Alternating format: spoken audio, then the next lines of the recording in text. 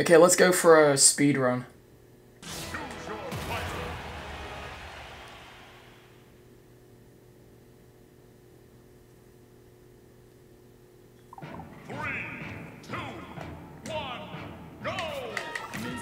Ah. Woohoo!